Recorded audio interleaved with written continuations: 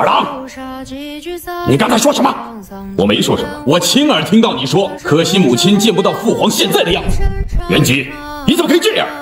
你给我滚出去！父皇，我滚！这是李世民人生中最接近黑化的时刻，父亲的猜忌和不信任，亲兄弟的算计与防备，逼得李世民不得不做出反抗。就在白天的时候，李渊刚把李世民一顿痛骂并赶走，结果到了晚上，又叫上李世民与李元吉一同开 party。李渊跳着风骚的舞姿，李元吉在一旁疯狂的叫好，所有人都沉浸在这欢乐的时光，唯有李世民显得格格不入，因为李世民想起白天长孙无忌对他说的话，齐王李元吉让他驯服一匹烈马。是包藏祸心，诬告他有天命，是想置他于死地。而太子的东宫护卫也已经增加到了两千人，明显就是在防备着李世民。这一切的一切，皆源自于李世民的功劳太大，权力太高，使得所有人都对李世民生出了浓浓的敌意。而看着父亲李渊今晚的这副骄奢淫逸模样，这让李世民想起自己的母亲。可惜呀，母亲看不见了。结果李世民的这句感慨话却让李渊基给听到，当即跑到李渊耳边嚼舌根。二郎，你刚才说什么？我没说什么，我亲耳听到你说，可惜母亲见不到父皇现在的样子。元吉，你怎么可以这样？你给我滚出去！父皇，气急败坏的李渊直接拿起酒杯砸向李世民，再一次让李世民滚出去。一天之内被李渊连续赶了两次，这让李世民十分沮丧，最终离开了现场。没多久，被杜淹成功策反的尔朱焕和乔公山来到人质宫，并向李渊表示，他们受东宫左帅韦挺之令运送盔甲给庆州杨文干，但由于私运盔甲乃是大唐明令禁止的，因此他们不敢执行，只好来向陛下告发。太子怎么会有盔甲？盔甲是太子平定刘黑闼后留下的，为交还兵部。虽然两人所告发的是庆州杨文干，但盔甲却是从东宫传出去的，而且杨文干先前又是太子的侍卫，这让李渊怀疑李建成这位太子已经等不及了，于是派人以自己气病发作为由，让太子速速送药到人质宫。紧接着又召见人质宫的护卫将军宇文颖，让他速去庆州将杨文干带来人质宫。不要说有人告发的事，是，去吧。另一边留守京师的李建成，在得知负责运甲的两人竟然跑到陛下面前去告发杨文干谋逆，而陛下又在此时召见自己，说明李渊定然是怀疑自己有谋反之心，于是叫来了自己的智囊团商议。而魏征在得知了此事的来龙去脉后，当即表示，谋反的罪名恐怕是辩不清了。但李建成要听的可不是这个，他要的是如何处理这件事情。好在这件事目前没有直接指向太子。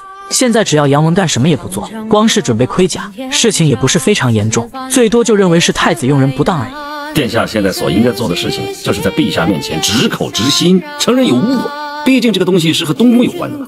只能这样了，否则就会越描越黑呀。听完众人的建议后，李建成便马不停蹄地赶忙人质宫面见李渊。父皇，药我拿来了。李渊并没有说话，一旁的张婕妤主动上前。接过李建成手中的药，紧接着两人四目相对，张婕妤向李建成做了一个手势，示意李建成放下心来说话。而有了张婕妤的提醒后，李建成便开始了他的表演。私用盔甲兵器，视同谋反，儿臣知罪，不过臣确实……父王，称我陛下，这是国之大事。陛下，既然事情到了这个地步，我有话要跟陛下说。说。李建成表示自己之所以这么做，皆因秦王功高震主，手下的文臣武将更是多不胜数。文有防谋杜断，武有尉迟敬德，这种种迹象都表明秦王有取太子而代之的想法。万般无奈之下，李建成才想出此下策。而李渊听到李建成的苦衷后，火气瞬间就消了一大半。本以为事情就到此结束，结果庆州极地，杨文干犯了什么？把太子拿下！李建成还想解释，但李渊此时已经不会再听信李建成的任何话。传秦王，你要。好好的布置，事情解决的话，太子就是你了。注意，这可把李世民高兴坏了，心想这泼天的富贵无论如何都要接住，于是当即带上兵马前往庆州平叛。太子被关押，李渊重新重用李世民，这让李元吉坐不住了。万一太子真的被废，让李世民坐上太子之位，那按照李元吉先前的所作所为，李世民肯定不会放过自己。因此，在还没有做掉李世民之前，太子绝不可被废。所以，为了保住李建成的太子之位，李元吉找到李渊，准备用自己的聪明才智来向李渊分析这次事件的来龙去脉。李元吉向李渊提出了此案的三个疑点：押送盔甲的兵将为什么上山告别？杨文干又是怎么得到的消息？宇文颖到底跟杨文干说了什么？杨文干在谋反之前可是一点征兆都没有的，为何宇文颖一去，杨文干就谋反了呢？必定是宇文颖向杨文干说了有人告发他的事情，但李渊却觉得不可能。因为李渊派宇文颖去庆州之时就已经跟他交代了，不要向杨文干提起告发的事情。但是他下山之前见过秦王，如果说是有人指使宇文颖将告发之事透露给杨文干的话，那太子最多就是个管教不严的责任，与谋逆可没有一点关系。而要证明李元吉的猜测是否为真，那也很简单，只要等杨文干和宇文颖一死，就清楚了。为什么？因为有人会杀他们两个灭口。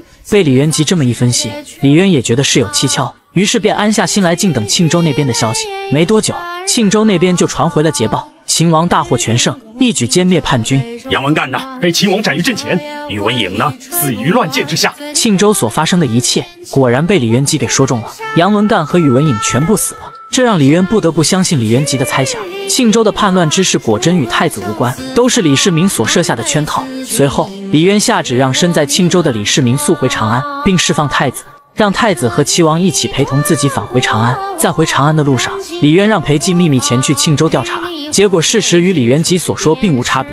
事发之时，秦王府的杜淹就在滨州，而且滨州长史席变又曾是秦王府的人，这一切联想在一起。足以证明是秦王府的人在做手脚，而李渊也是一阵后怕。如果不是李元吉的提醒，自己恐怕已经废掉太子了。那陛下看这件事要不要再查下去？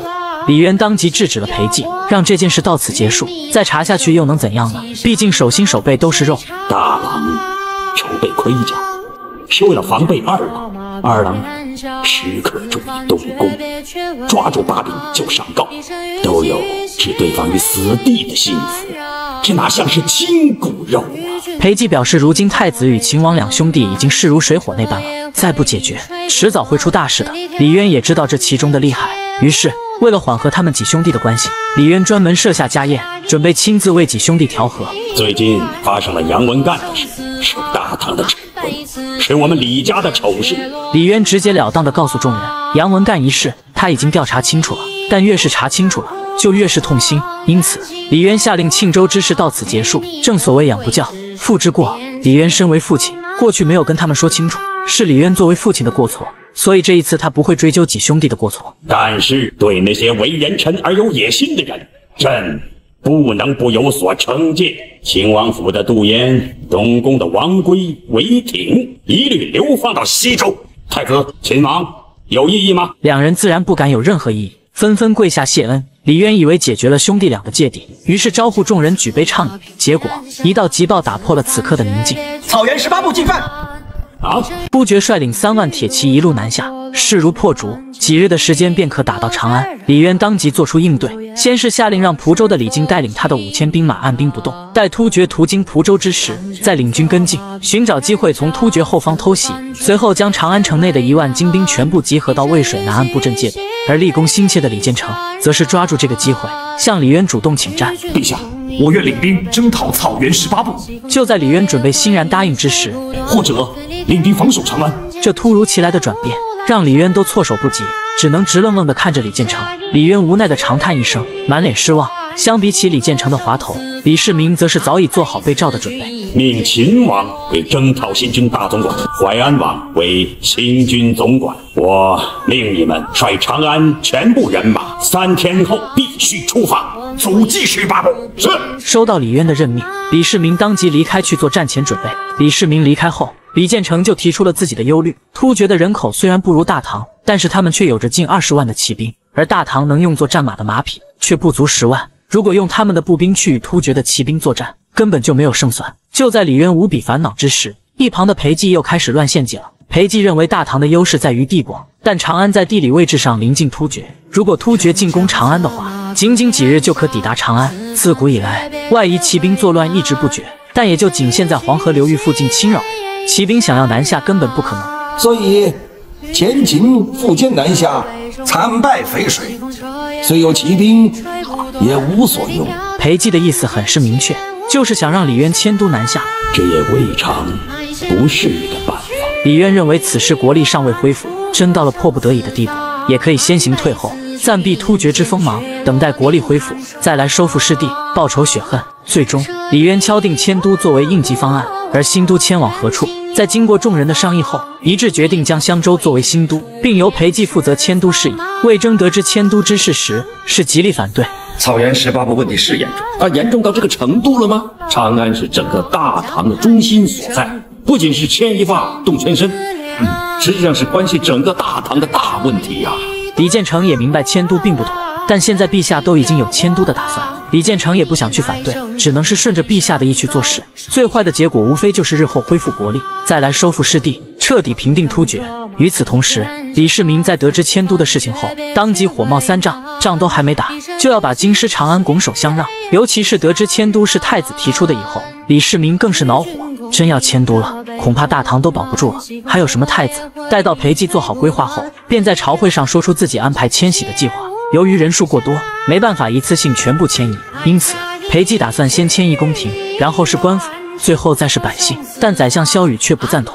若是把百姓留在最后面，万一突厥打进了长安，那长安城内的数十万百姓该怎么办？难道也要送给突厥吗？李建成表示，朝廷自然不会放弃百姓，会留下一支强大的军队来保护百姓。如果有这样一支军队，那现在就应该可以保卫长安城。要是现在没有这样的军队，那将来的军队又从何而来呢？萧雨的一番话，直接把李建成给怼得无言以对。就在双方陷入僵持之际，李渊发话了：“这个决策是国家的重大损失，可是也只能如此了。”就在李渊准备最终拍板之时，秦王李世民来了。